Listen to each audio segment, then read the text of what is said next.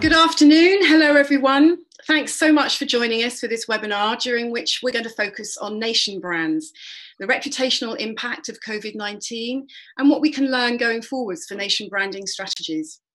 My name is Claire Dewhurst, the Director of City Nation Place, and we're delighted that Jose Torres, the CEO of Bloom Consulting, has chosen to share this brand new and very interesting research with the City Nation Place audience. We're both delighted to have with us Niall Gibbons, CEO of Tourism Ireland. And the observant amongst you will have noticed that Rebecca Smith from the New Zealand Story is not with us at this moment. We're still hoping she will join, but she, she's not made it for the start of the webinar and we didn't want to keep you waiting. She is, to be very fair, it's two o'clock in the morning in New Zealand, so um, let's keep our fingers crossed. Before we kick off, can I draw your attention to the live comment feed below this broadcast window?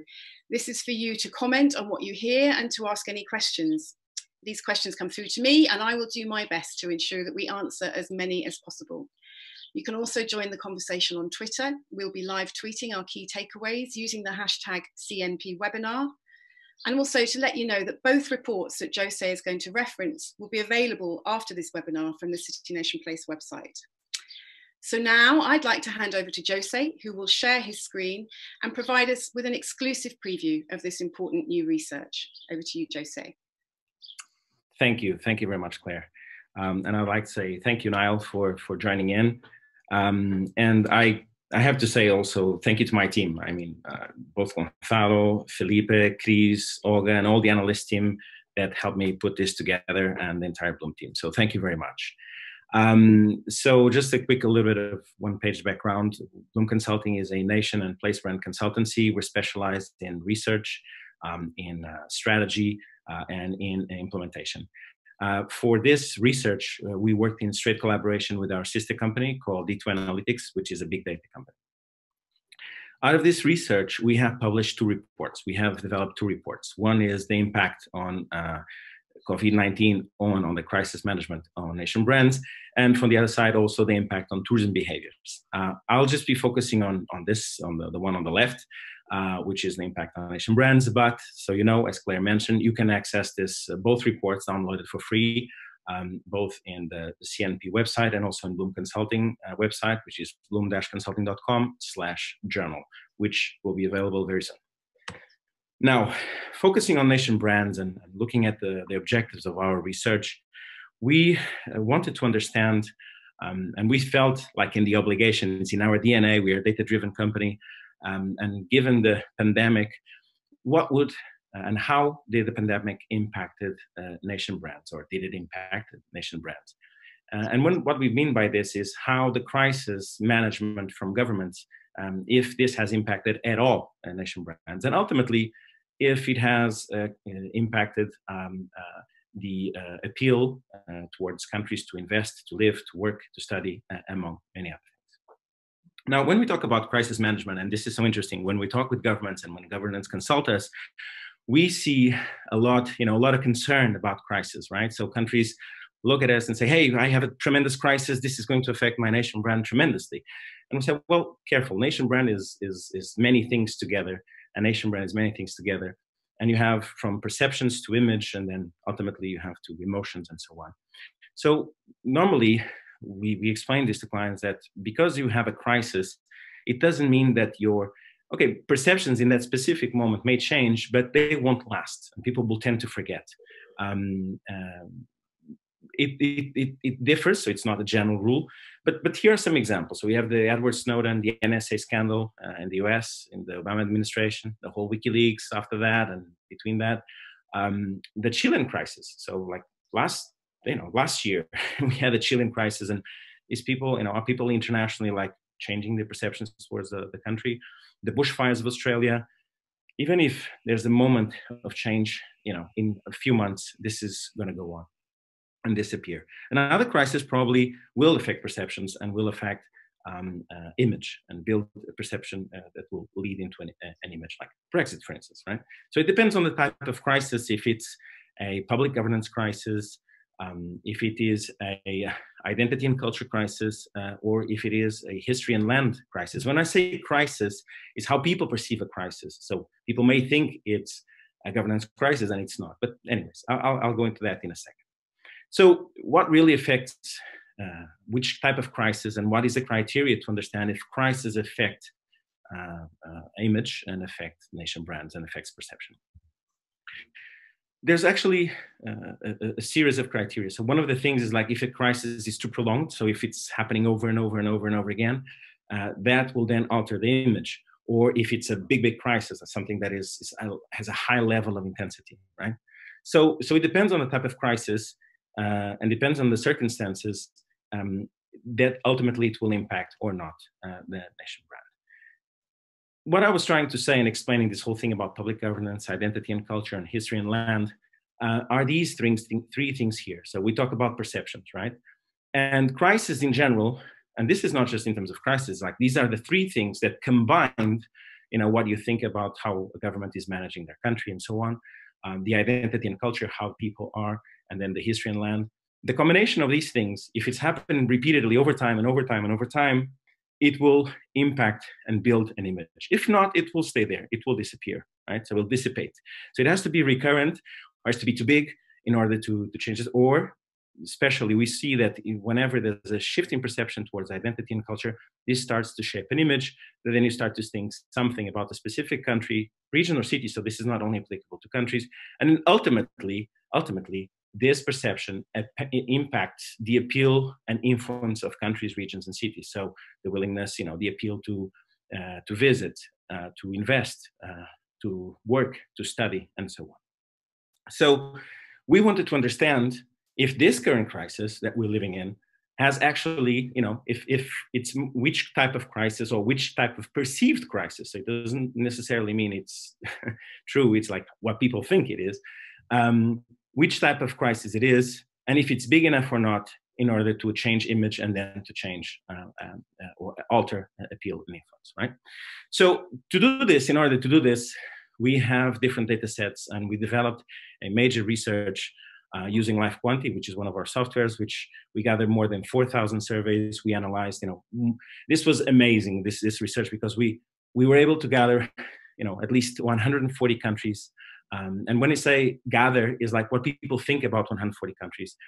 You know, up until uh, 80 countries were mentioned more than 15 times, uh, 20 times, um, and, and even 53, up to 53 countries, they were more than they mentioned like 100, uh, 100 times. What this means is this is an amazing moment for, for nations because when we ask these kind of studies for countries, people normally mention top of mind, you know, 10 countries, 15, 20, okay, it's a major thing, 30 countries max, but no one mentions that, that much.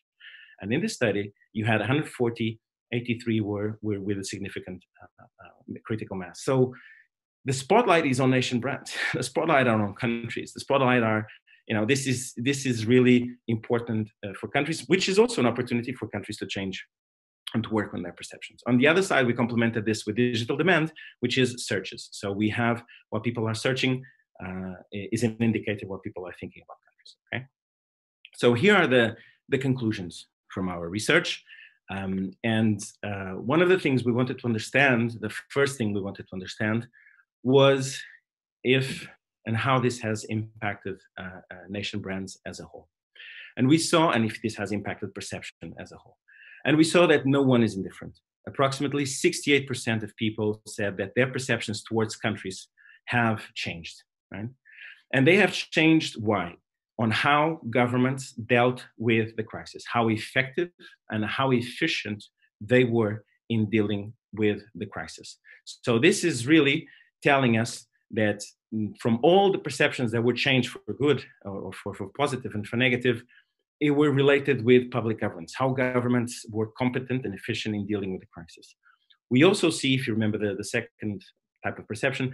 5% of identity and culture was also affected, and little to, to none to, in terms of history and land. Overall, the world average, we can see that perceptions towards countries have worsened. So there's, a, there's a result, a negative result. If we put all the perception changes, it was not for the best, it was for the worst. And uh, you see that in generally, generally speaking, this is 55%. Of course, if Ireland is here, it's because Ireland is on the 13%, of course, and New Zealand as well. Um, but just to understand, so there was a loss in terms of nation brands, right? So the, the way that governments dealt with this crisis impacted negatively uh, overall. So we wanted to dig deeper on this on this data, and bear with us with the graphs and the numbers, and we're here for you after if you want to any clarification. But we built a, a, a simple matrix, well, not that simple, but a, a clear matrix where we wanted to put all the countries based on the major research, right, on the major uh, quantitative survey uh, that we did with D2 uh, um, with LiveQuanti. And on, when you see here the, the vertical uh, axis, you have the net positive mentions and the net negative mentions. So it's one minus the other. And on the horizontal one, you have the crisis negative ratio uh, and negative and positive.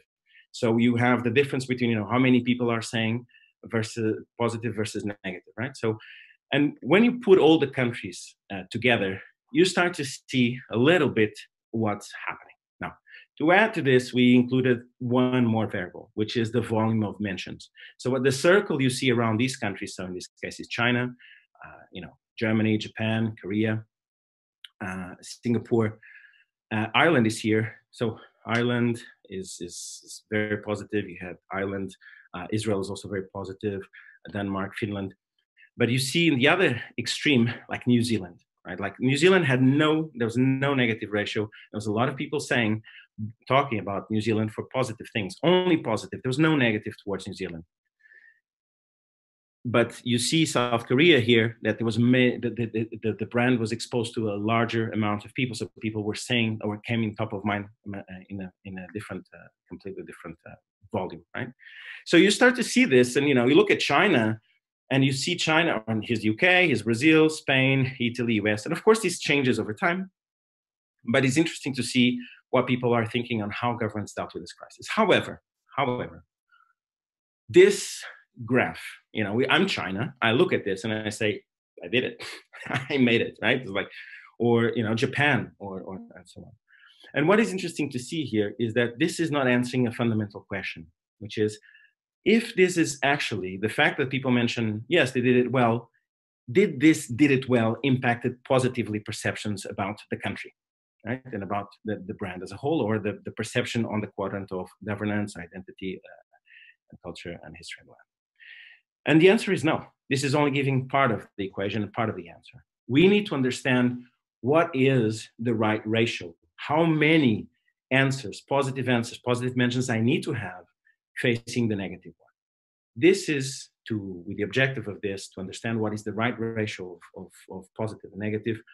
We have uh, uh, developed the concept of brand naught. The brand naught comes from the R naught uh, concept, which is the what you know the World Health Organization uses and so on to assess the level of contamination, which is basically uh, the reproduction uh, uh, number uh, of a disease. So in this case of I don't know the current one that we're living in, the COVID is like you know the R naught is three, which means for every infected person you can you infect other three.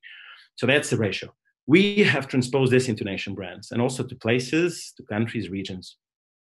And what is uh, what is this? What is the brand naught? The brand naught is the correct ratio so that you understand as a country, region, or city, in this case it's for countries, of course, but it's also applicable for regions and cities, what is the right ratio so that your brand, your, the perceptions towards your country will not be altered for negative and positive, right? So in this case, we did this measurement, we did this, we did this calculation and we understood that the brand naught for this crisis, which is the first thing you need to do, which is, okay, what is the brand naught of this crisis, is 1.8. So what does this mean? It means that for every negative uh, person that has a negative perception, you need at least to have 1.8 to have a neutral effect so that you don't see your, positive, your, your perceptions being uh, negatively impacted, right? So if I bring this down to the same matrix I was showing before, the brand naught is this line that tells you that everything that will stay on the left is you were ne- negatively impacted, and everything that you see on the right is positively impacted. So, what we're trying to say is that it is not enough to have the one to one ratio. You need to have, in this case, and you have to do this for every crisis, of course, you know that it's a 1.8. So to stay idle, you need you start you you you start Uh, not just above water, the water the water level is is, is has risen, right? So 1.8 minimum, right? Now, I'm giving you the world average. I'm saying like, what's the level of this pandemic?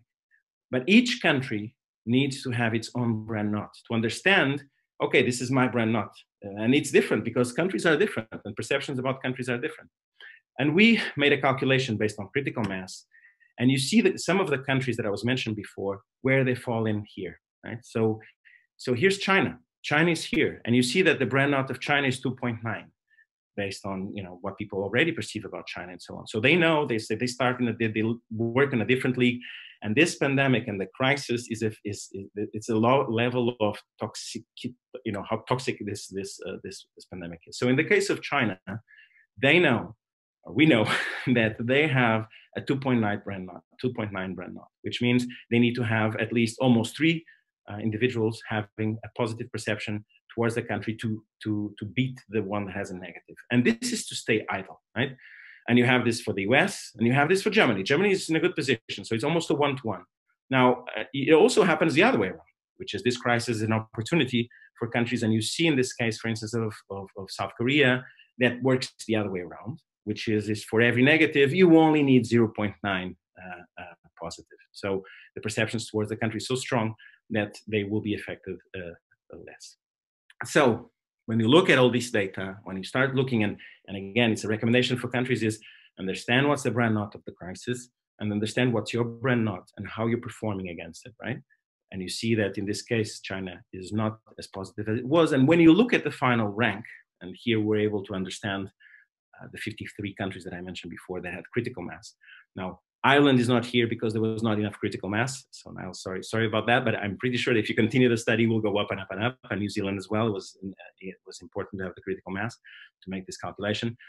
But you see that, for instance, in this case of the crisis, in this specific crisis, if you apply the logic of the brand naught, you can see that South Korea perceptions towards South Korea and how South Korea dealt with the crisis have improved.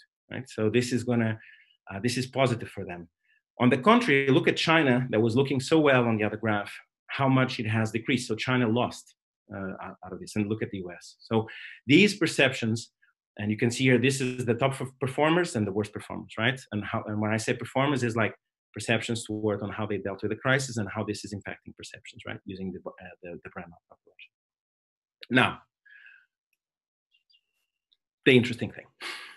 Here comes the interesting thing which is the fun part, which is how much, okay, very nice, I understand, okay, that I'm not equal. So countries are not equal. Perceptions affect me differently and based on where I come from um, and the perception that people had before. So I have this number that will guide me and, and it's great. But how is this affecting the appeal? And when I say appeal, uh, is is this perception affecting me uh, in any way the willingness to study to live to work to visit uh, uh, the country region or city? Although this study is for countries but this is applicable for countries regions and cities. And the answer is uh, you know what we want to see like i said is i want to see if this whole thing is affecting this by any means right? And the brand naught is affecting this by many means. So you see that generally speaking the most volatile uh, dimension or the areas of the transactional value is affected or the, are the ones related to talent. So you see study and you see live and work. You see people with a brand naught even of 1.8. It, this uh, there's, the brand naught behaves differently within the dimension. So you see that the most the one that suffered most from this uh, uh, pandemic, and when I say suffered most, is from a crisis perception management, right? You can see clearly that is still study, uh, live, and work. So these are the ones that are most sensible and volatile uh, to this. So countries that score underneath this are they will see a transactional uh, impact here. Also in buy and also in visit, they are more resilient, and visit is also more resilient, but is also having a negative impact. So how the government behaves affects the willingness to visit, how, how efficient the government is, how how the world sees how each country is going.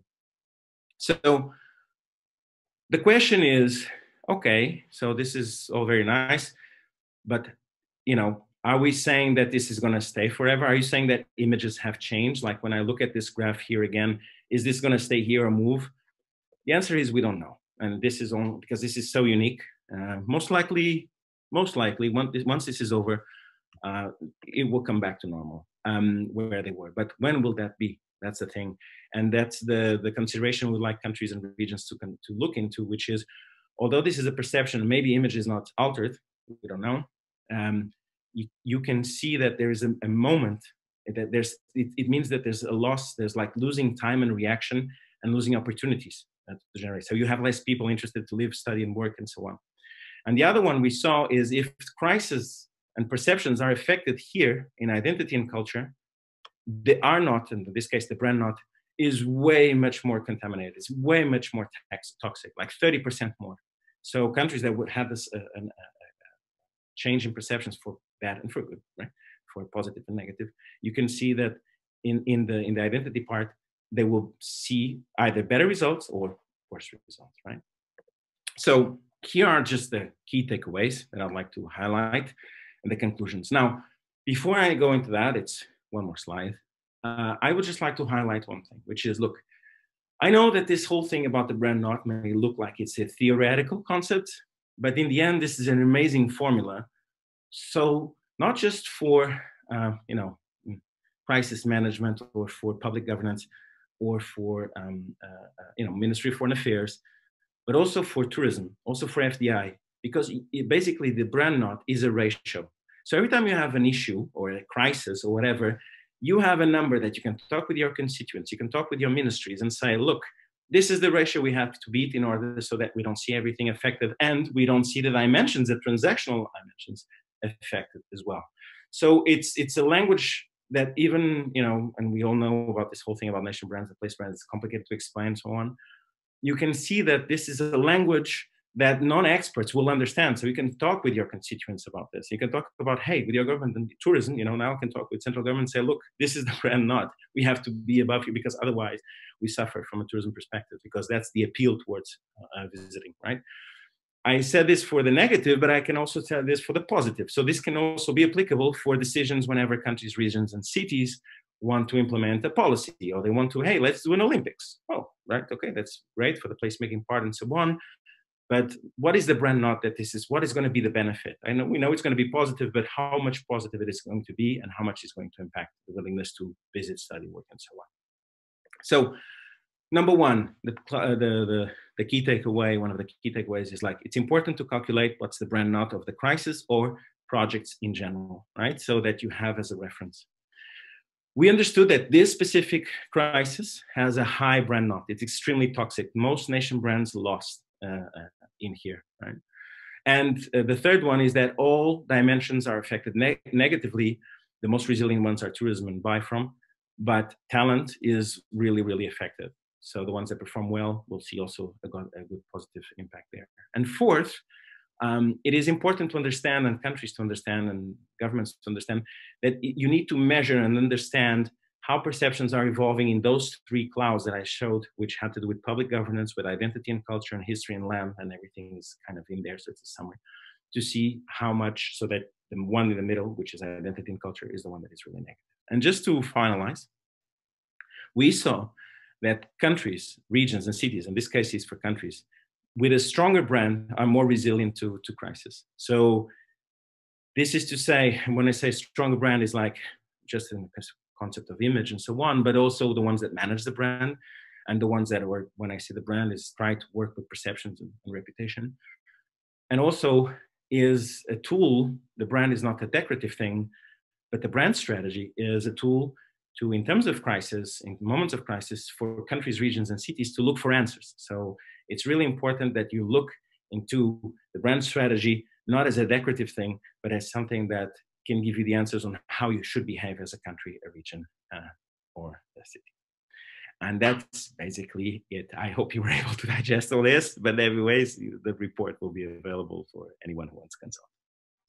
Thank you, Jose. Thanks so much. And it, it is quite difficult to digest on the first presentation. I, have seen it, so I, I, have a little bit of a better idea. Niall, you had a, a, previous view. Did you have any questions that you wanted to come back to Jose with before we talk a little bit more about Ireland in detail? Uh, it was interesting. I, I and, good afternoon, everybody. Great to be here. Thanks for having me on. Um, uh, I, I hadn't seen it in that level of detail. The one thing that struck me, Jose, as you went through the charts, was that the people who had the weakest um, brand naught seem to have been the countries that were the slowest to react to the crisis, so to speak. Um, when you look at the US, UK, Italy, Spain, um, this is a type of crisis we never had in the Western world. I mean, I remember when SARS came in 2003, I was in tourism then, but that happened somewhere else. You know, that was over in China, it was Hong Kong, and that sort of stuff just doesn't happen in Europe. but the speed by which this came upon us um, is such that the governments that seem to have acted the fast have the highest brand or score because that meant that essentially you had a very low level of infection and death. But the, the, the bigger countries that maybe maybe perhaps take their reputation for granted hadn't appreciated the speed at which this traveled. Would you agree with that? Completely. And and you see that the majority of and the reasons why uh, the countries uh, um, or people uh, perception or how the perception in what way they were altered had to do with how governments, uh, how efficient and how well they have dealt with the crisis. So how competent were they? So absolutely, it, it completely influences uh, the perception. So I absolutely agree. That's what research is indicating. And that's, I think that's the sort of theme of some of the questions that are coming through. Um, so Sophia, um, I can't pronounce your surname, I'm sorry, Sophia, um, asked, what's the relation between the brand naught and the place brand equity? Um, you know, so have you seen that those places that had a really strong position in terms of global perceptions have survived better, or as Niall said, if they took it for granted, they haven't? Yeah, excellent question. So definitely it influences the brand naught because one of the things that is important to understand the brand naught is the brand naught varies from situation to situation, from crisis to crisis.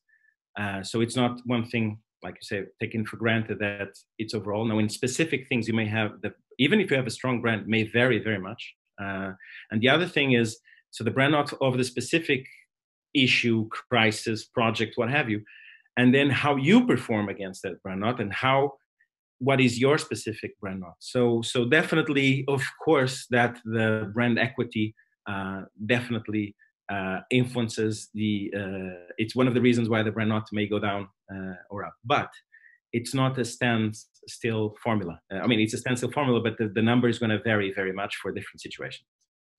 Um, and I just as in terms of the um, process of the research, the methodology is the word I'm looking for. Um, Ronnie Ronnie Weiss has asked um, how's how's Thailand stayed positive despite the coups? That you know, they seem to be an outlier.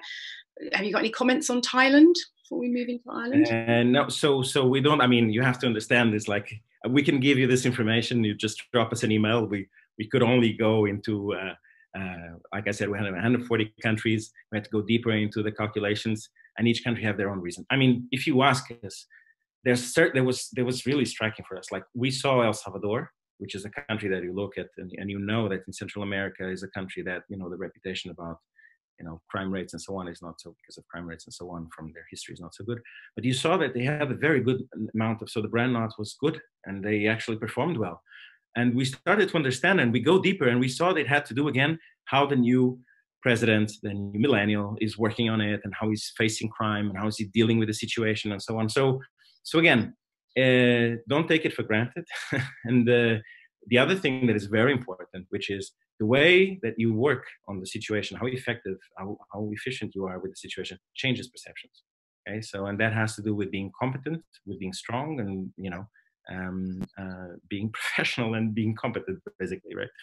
Yeah, I, am I'm not sure if you're still sharing your screen, Jose. If you are, perhaps you can. I am. I am. I am. That would be great. Um, you want me to stop? Yes, please, because then everyone can see our lovely faces a little yeah. bit better. um, Amanda Calvo from Saffron has asked a question which I know Rebecca would have been the person to answer. So, um, and I I know Jose that you've spoken to her before now, and I've I've spoken to her many times before as well. So Amanda has asked: um, Spain has a strong nation brand. Obviously, governance has let it down with regards to its crisis perceptions. But can you give us an example of how nations can lean into their brand strategy to find answers and guidance in times of crisis? And I would say that New Zealand is the perfect example of how that's been achieved. Um, and if, Amanda, you look on our website um, and, and, use the search function to, to look for Rebecca or New Zealand, and also I'm going to do a little interview with her because she's not managed to make it today.